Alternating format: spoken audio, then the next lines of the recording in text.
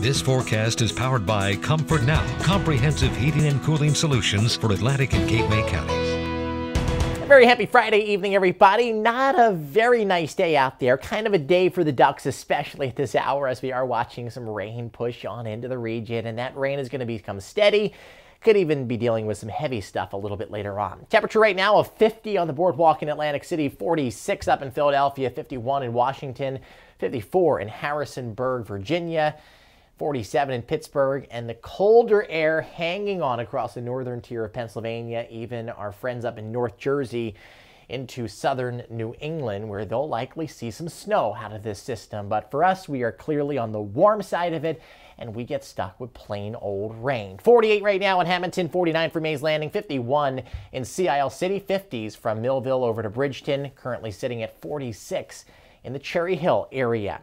Here are the rain showers that are going to continue to move on into the region. We have some steady rain over Pennsylvania. This is going to continue to be the theme through the course of the evening into tomorrow morning. And I think a couple showers on and off through the day tomorrow. Generally, we're unsettled, but I do think that there could be some breaks in the clouds and that could make way for a period of partly sunny skies tomorrow. And if that's the case, we're actually going to see our temperatures respond in a very favorable direction, especially when you couple that with a wind out the south. 60 or better can't be ruled out. I'm officially going middle 50s for highs, but we'll watch it very closely. It's just an added bonus if we can get to 60. Snow well to our north as the system wraps up. No snow for us, unfortunately. 42 tonight areas of rain will return. Not bad with our temperatures for sure. Tomorrow, I'm thinking between 54 and 57 for most of you.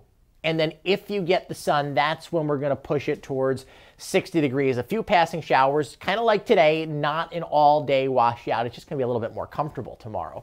Cooler on Sunday, dropping down into the lower 40s, and we are also going to be on the breezy side. Imagine that for the football game, probably gust to 20, 25 miles an hour. Stay connected on Facebook, Instagram, and Twitter. It's at Nor'easter Nick. You can also go to my website, nor'easternick.com for the very latest. 7 day forecast after we get out of Saturday and the muck and mire there. We're looking at nicer weather on Sunday and Monday. A small chance of some snow, believe it or not, as the system comes across the country on Tuesday, Tuesday night specifically. I want to keep a very close eye on that and see how that forecast evolves. Wednesday, Thursday, Friday, all around average, partly sunny.